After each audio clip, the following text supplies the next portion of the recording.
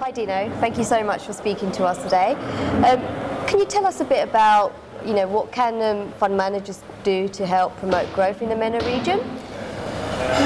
That's um, that's a very interesting question, and it's uh, it's a very good one, because at the end of the day, um, you know, the, the, size of the fund management industry in the MENA region is actually quite small. Um, and, and the region is actually very wide and actually very different um, for in each jur jurisdiction.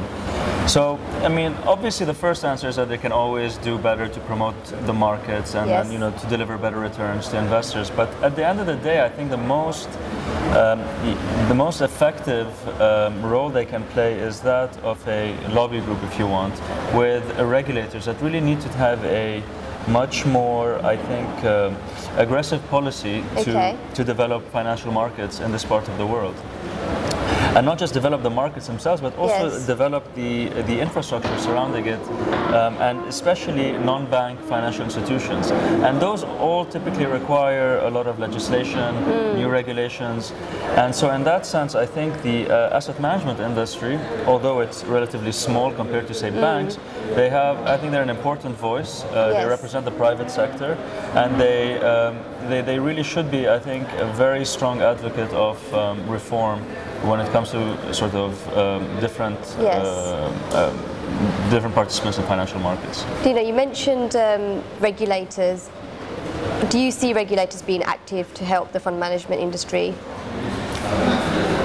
In general, I would say no. Okay. I mean, they've obviously done. Uh, they are regulation has improved in general, and I think the investment climate right.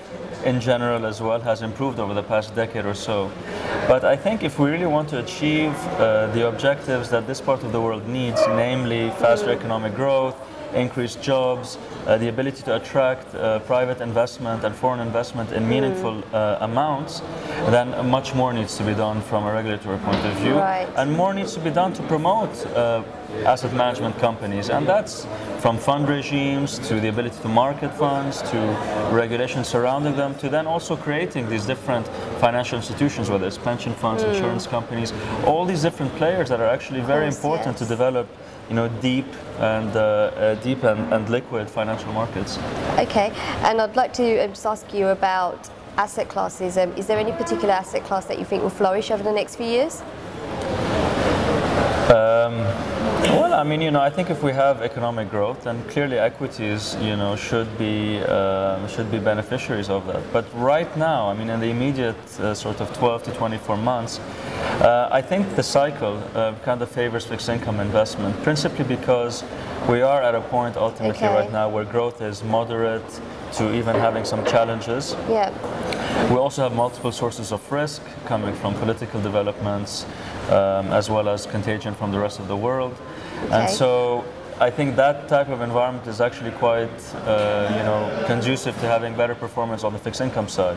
So whereas we advocate sort of risky assets or real estate over the medium to long run, I think in the shorter term, I think fixed income and credit in the region should do relatively better than Uh, equity markets. Excellent. Or at least you know help diversify, yeah. improve, or optimize portfolios for investors. Sure, and obviously everyone wants to diversify, so that's sure. Important. Especially today, that's what people are thinking. Excellent. Of. Thank you so much for your time, Dino. It's my pleasure. Thank you. Thank you. Thank you. Bye.